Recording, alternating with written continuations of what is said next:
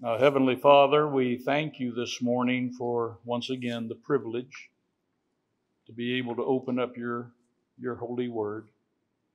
Lord, I pray that as we look into the scriptures today, that you would give me the wisdom and the fullness of your Holy Spirit that I might speak clearly and plainly the message that you would have for this hour.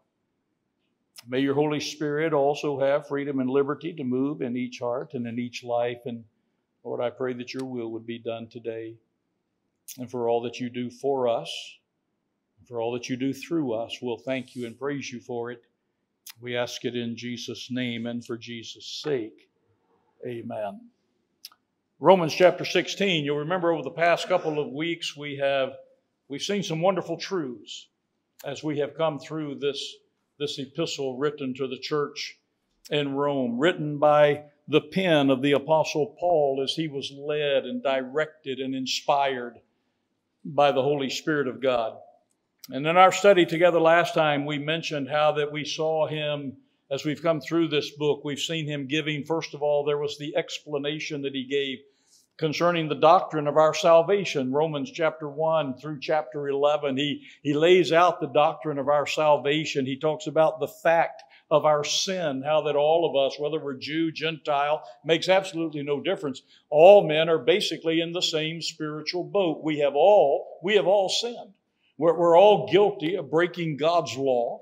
We're all guilty of offending God's holiness. And, and, as a result of that fact, there is a, there is a sense of, the, of, of hopelessness that, that reigns in the lives of each and every one of us. Uh, the hopelessness is simply this because we're all sinners, none of us can do anything that will impress God. Because we're all sinners, none of us, none of us can save ourselves. And then we saw the fact of God's grace the fact of God's grace, God's gracious provision by which we are cleansed. Our sins are forever washed away. Uh, there's the fact of that we are now redeemed, the provision of redemption. Our, our, our, sins, uh, we've been brought out of the prison house of sin and we have been brought into God's kingdom. And then there's the wonderful fact that by God's provision, we're justified. Uh, in other words, in the eyes of God now, because of what Jesus Christ did for us on the cross of Calvary, it is just as though we never sinned. Justification. And all of that takes place at the very moment when we receive Jesus Christ as our personal Savior. All of that happens at the very moment when we put our faith and trust in the finished work of the Savior. That's Romans chapter 1 to chapter 11. But then we came to chapter 12. And in chapter 12, the apostle Paul then begins dealing with the, not the doctrine of our salvation, but the responsibility of our salvation. What, what is expected of us now? as a believer in Jesus Christ. And so in Romans chapter 12 to chapter 14, the apostle Paul has shown us that as believers in Jesus Christ, there are two basically key things that all of us are to be doing as a Christian. First of all, we are to be loving God supremely and serving Him completely. That, that's number one. We're to be loving God supremely, serving Him, serving Him completely. But, but then there's another thing. There's another thing, and that is this. We're to be loving and praying for one another. We're to be loving and praying for one another. And, then last time in Romans chapter 15, we saw the apostle Paul requesting that the church in Rome should earnestly be praying for him in, in three matters. First of all, he wanted them to pray for his protection from the Jews there in Jerusalem who, who wanted him dead. And so he asked them to pray for his protection. He also asked those churches to pray for his success for his success, that Jewish believers there in Jerusalem would accept this offering that had been collected from Gentile churches. That would be a sticky point. And, and so he, he, wants the churches to pray that, that they will, he will be successful in, in delivering the offering that had been collected. And then also, he wanted them to pray concerning his desire.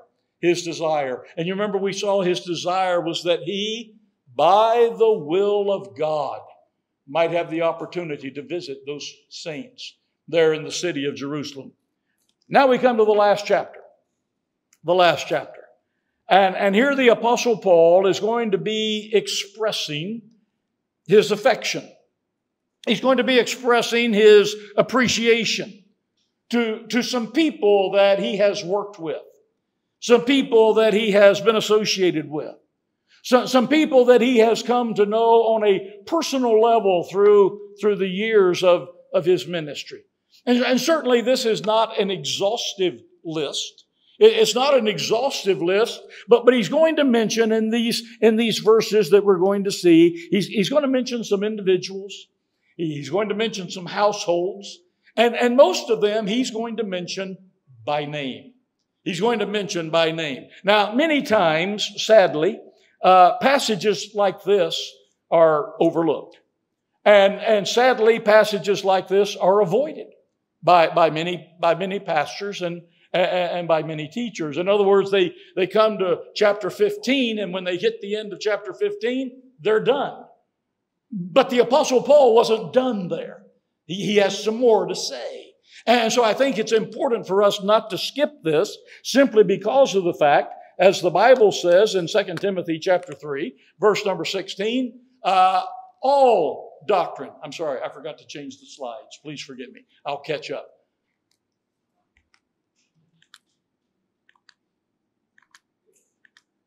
There it is. All scripture is given by inspiration of God. Did you catch that all? That includes Romans chapter 16, doesn't it? Yeah, all scripture is given by inspiration of God and it's profitable. In other words, there are things we can learn here.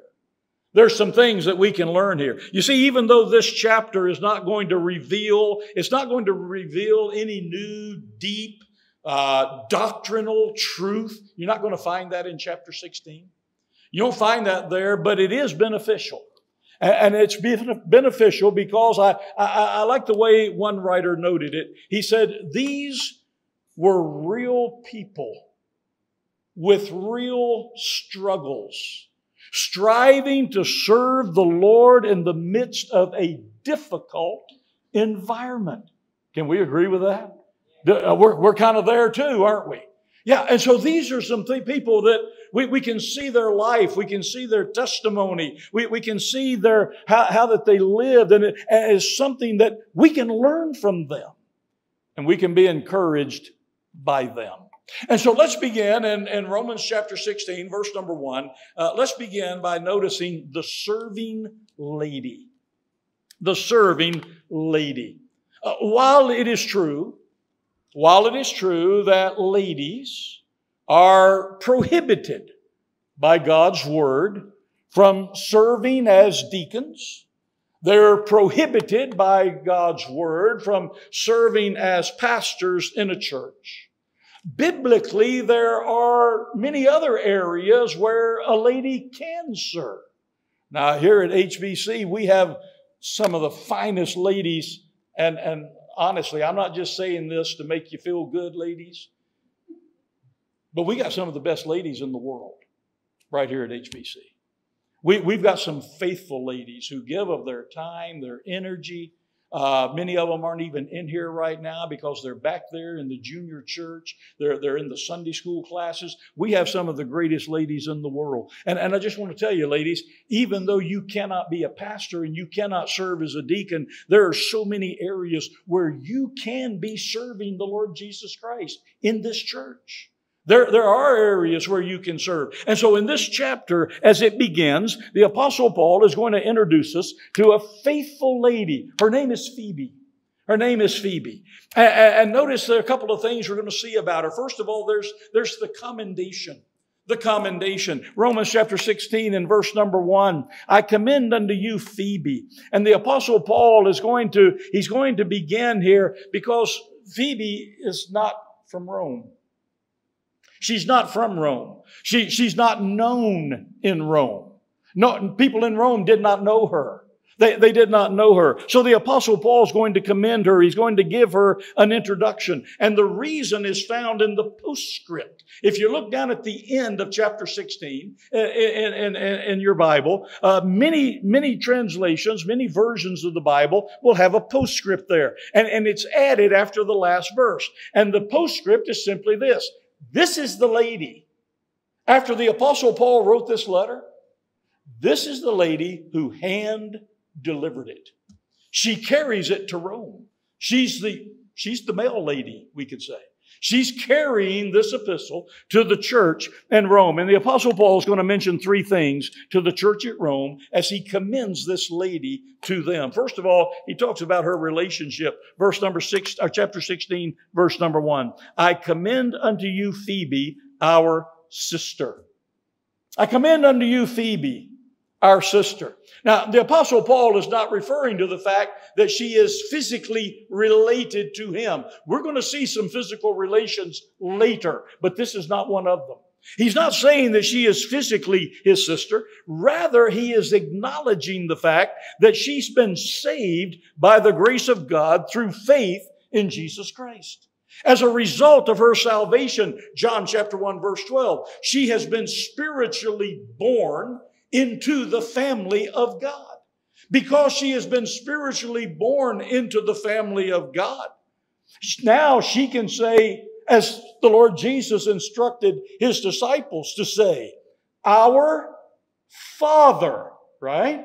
Which art in heaven.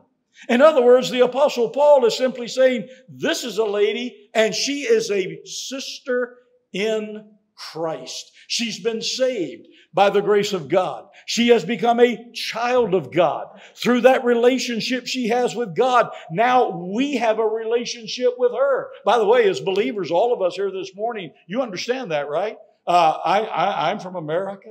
And, and, and, some are from Singapore, and, and, some are from Indonesia, and some are from Malaysia, and some are from other places. But I want you to understand that through faith in Christ, we are related because we have the same Father. We've been saved by the grace of God. He is our Father, and therefore we have that relationship. And by the way, you've heard the old saying, blood is thicker than water? You've heard that, right? Do you realize that we are actually not only related, we're blood relatives? Because the same blood that saved my soul, that same blood saved your soul if you've been born again. So we're not just related, I mean, we're really related through the precious blood of the Lord Jesus Christ. The Apostle Paul then refers to her as our sister. Not only do we see her relationship, notice number two, we see her activity. Her activity. In, in, in, verse number one, the apostle Paul continues, I, he says, I commend unto you Phoebe, our sister, which is a servant of the church. Now, the, the name Phoebe actually comes from a root. It, it carries the idea of bright and radiant. That's the meaning of her name. Bright and radiant. And, and it's obvious that she lived up to her name by the way she served in her church. And, and by the way, notice the word servant there. Notice the word servant. Uh, th- this has created a lot of discussion. It's created a lot of controversy. Because the word servant in our text actually comes from the Greek word diakonos. Diakonos. Uh, it's the term that literally means, literally means, to kick up the dust. That's what it literally means. It's, it's someone who kicks up the dust. In other words, it is a servant who is so busy serving. You, you, you, you've seen the cartoons sometimes, you know, someone is, they're, they're, they're walking so fast, there's a little cloud of dust behind them. That, that's the idea here. That's the idea. Shit, kicking up the dust. So busy serving. So busy serving, going here and there, doing the work that, that needs to be done. And, that, and that's why we find that same word, diakonos, it's also used to refer to those who, who run errands. You remember in the Gospel of John, chapter 2? Jesus goes to Cana of Galilee, and you remember he tends the wedding there? And, and, and, and you know the story. They, they run out of wine. And so Jesus calls in, he calls in these men. He says, I want you to go and I want you to run to the well and I want you to bring in water. Those servants who went to get the water, the Greek term there is diakonos. It's the same term. They were servants who were given an errand. They're busy running on an errand. Uh, that same term is also used for those who would serve tables. You, you, remember in Acts chapter six when the church was having a having they were facing a difficulty. They had widows and and nobody was really taking care of them. And, and, so we find that there were a group of men who were chosen. Uh, their job was to was to wait on tables, and, and they are called. They're called diakonos. In our Bible, it's translated as deacons. They were translated, they're deacons. But, but basically, these were men who were called to a position not of real authority to lead, but they're called to a position of help. Their job is to serve in such a way, they're to serve in such a way so that the apostles, the preachers, could give themselves continually to prayer and to ministry they would serve. They would serve. So you see, contrary to the teaching of some, Phoebe was not voted in at the AGM to become a deacon in the church. But let me just mention this. Our last AGM, and I, I don't know who it was, but uh, on the nomination forms that came in, we actually had a couple of ladies who were nominated. Now, folks, we ought to know better than that. We ought, we ought to know better than that. I'm just telling you, uh, ladies can serve but they cannot serve as a pastor or as a deacon, okay? Cannot, cannot do that. Cannot do that. Uh, that would have been a clear violation to the qualifications that are listed. First of all, by example, in Acts chapter 6, you notice those men, the, the ones chosen uh, to be deacons, they were all men.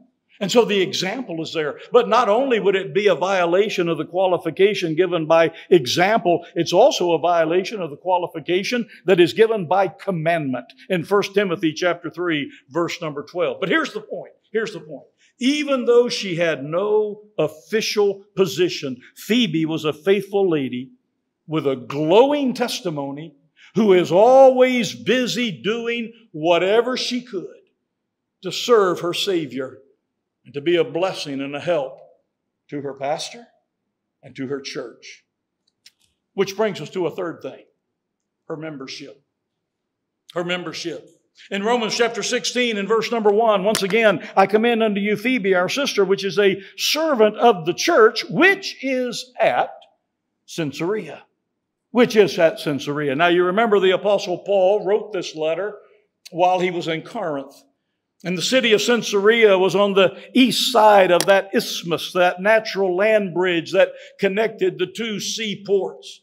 Bottom line, Phoebe uh, lived there in Caesarea, and, and, and, she would have been well known by the Apostle Paul there. Uh, but I want you to notice the expectation. The expectation, letter B. When Phoebe delivered this epistle to the church in Rome, there's some instructions that were given. First of all, they are to accept her. They're to accept her. Verse number two, the Apostle Paul says that you receive her. This is instructions for Rome. I, am sending this lady, she's bringing this letter that I've written. But here's what I want you to do I want you to receive her in the Lord as becometh saints. In other words, don't view her as a stranger to be ignored. Don't view her as a stranger to be ignored. We have, we have visitors here this morning. You members of HBC, this will be a good day for you to practice. Don't ignore them, okay? Don't pretend like you don't notice they're here. Uh, make a, yourself uh, a, a, an official greeter and, and, go and let them know. Let them know that you're glad that they're here. Uh, accept them. Receive them as a person with wide open arms. Welcome them, accepting them. Now, notice the Apostle Paul adds that as becometh saints. Do you get that? And this is how we ought to act to everybody that comes our way. We, we, ought to be, we ought to be thankful for those who visit. And we ought to show our appreciation that they're here. There's a lot of other places they could be this morning, but they chose to be here with us. And we ought to let them know we appreciate that. We appreciate that. And, and so Paul says to the, to the church in Rome, uh, this lady, I want you to, I want you to receive her. I want you to accept her. Not only do I want you to accept her, he even goes a step further. He says, I want you to assist. I want you to assist her. Verse number two, that ye assist her in whatsoever business she hath need of. In other words, the church in Rome is there to look after, they're to assist her in, in, in every way that they can, as if she were one of their own members. That's, that's how they're to assist. As if she's one of their own members. And, and, and then let her see, notice the, the justification for this. Why would the Apostle Paul say all of that about this lady? She's not even from Rome. She's from Caesarea. Why would the Apostle Paul tell the church in Rome to do all of these things for her? Well, here's the justification for it, verse number two. For, or because, she hath been a succorer of many, and of myself also. That word succorer simply means she is one who she's helped other people. She's been faithful to encourage other people. She's gone out of her way to show friendship and help and support to other people. And, and, in fact, the apostle Paul says not just other people, she's done the very same thing for me as an apostle of Jesus Christ. And so I want you, I want you to do these things. I want you to help her, to assist her. I want you to accept her as a brother or as a sister rather in Christ. Certainly, certainly a lot we can learn from this lady. Certainly a lot we can learn from Phoebe, a serving lady worthy of recognition. A serving lady who is worthy of honor. But I want you to notice a second group now. And I say group because this now we're, we're going to find a faithful couple. A faithful couple. Let me give you a little bit of background. In 41 AD, during his first uh, year as reign of the Roman as a Roman emperor, uh, Claudius placed restrictions on the Jews. He, he said Jews could not meet together. He, they could not meet together. The reason seems to be that there was a there was a controversy. The Jews were fighting among themselves. There were the Mosaic Jews who believed you had to keep the law of Moses, but there were also those Messianic Jews who believed that Christ was the end of the law and that the Jews were no longer under all of that. And so there's this friction within the Jewish community, and because they're fighting with one another, Claudius basically says, "Okay, all Jews." No more meetings together. No more meetings together.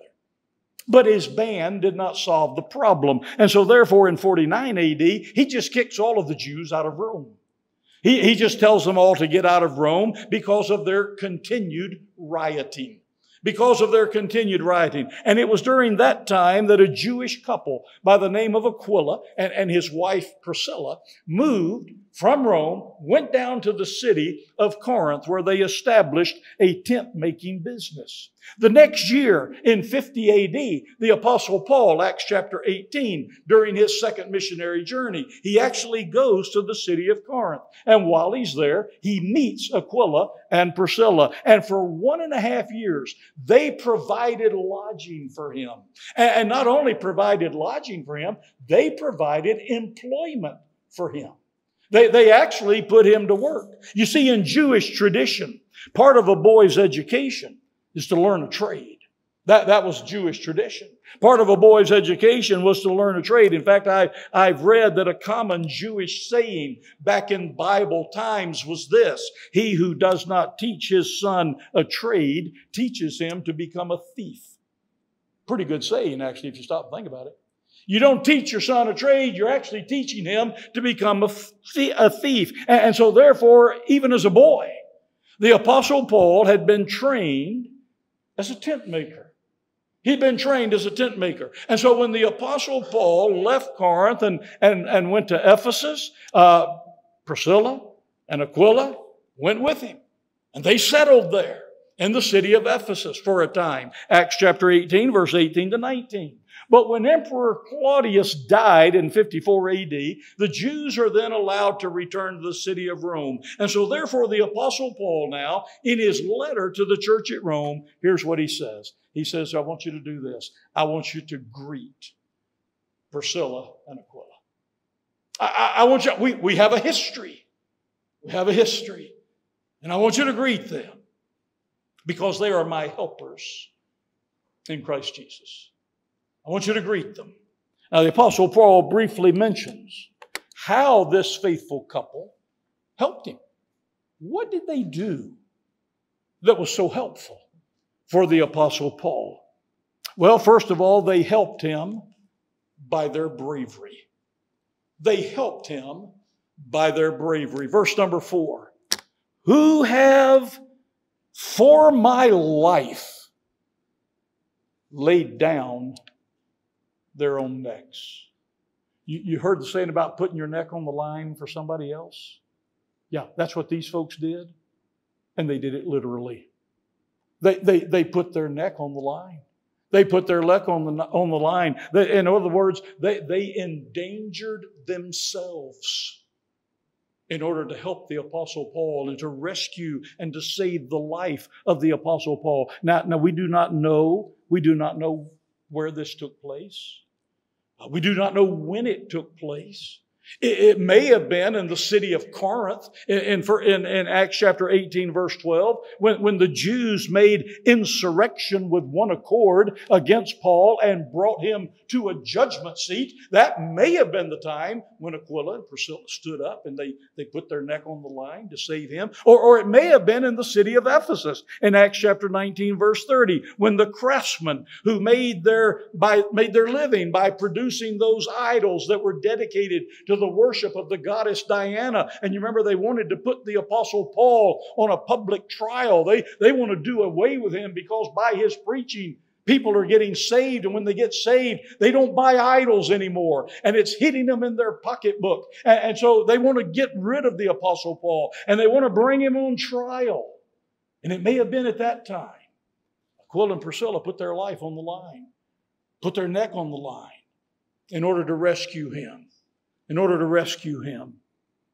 Or it may have been in both places. they had done it once here and did it once there. We do not know. But whenever it was and wherever it was, here's what the Apostle Paul says in verse number four Unto whom not only I give thanks.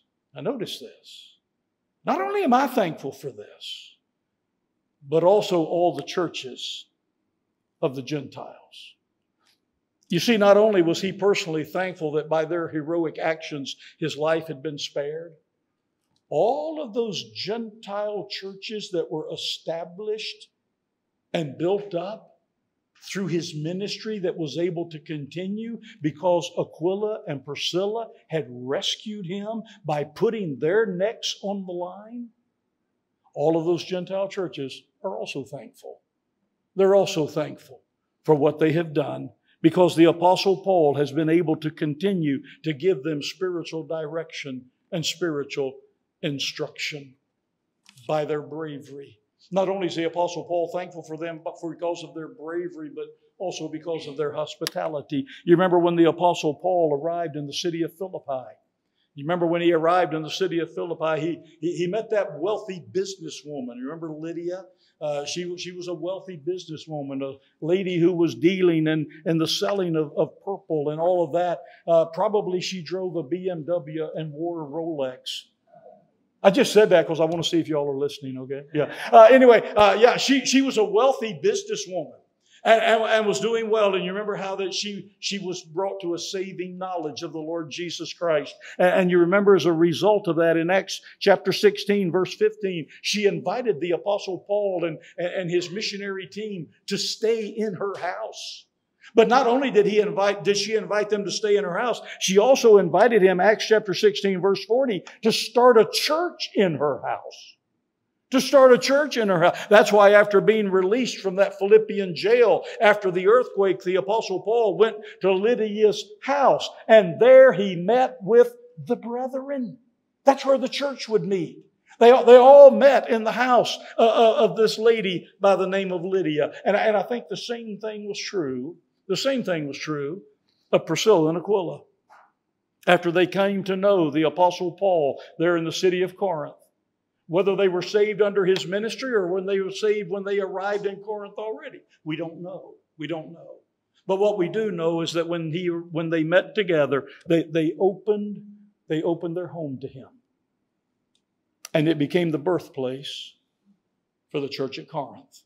For those of you who've been here for a long time and you know the history of Heritage Baptist Church, do you remember 25 Dunsfold Drive? Yeah, that, that was the home of Pastor and Mrs. Worley. And it was in their living room that this church was born. It was in their home, in their living room.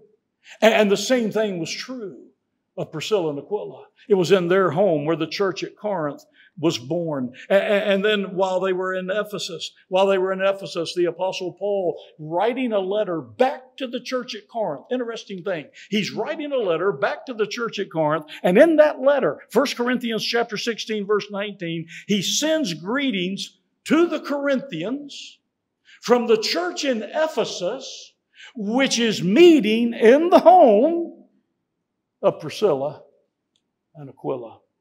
Later on, after returning to Rome from Ephesus, Priscilla and Aquila once again open their home to a church. Once again, they, they show their hospitality to the work of God. They open their home to the church that is there. And, and, and, so therefore the apostle Paul in chapter 16 verse 5, he says this. He says, likewise, likewise, just as you greet Priscilla and Aquila in Christian love, just as you greet them in the very same way, greet the church. Every member. Greet the church that is in their house. That is in their house. There are many more friends, many more associates that the Apostle Paul is going to introduce to us as we consider this final chapter together. But these three, Phoebe, Priscilla, Aquila, these three have certainly give us an example to follow because they were known, they were recognized, they were honored. First of all, for their faithfulness. First of all, for their faithfulness.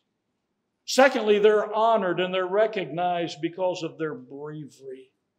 In other words, these were people who are so committed to God's work and so committed to God's servants that they are willing to do whatever it might cost them, even their own lives.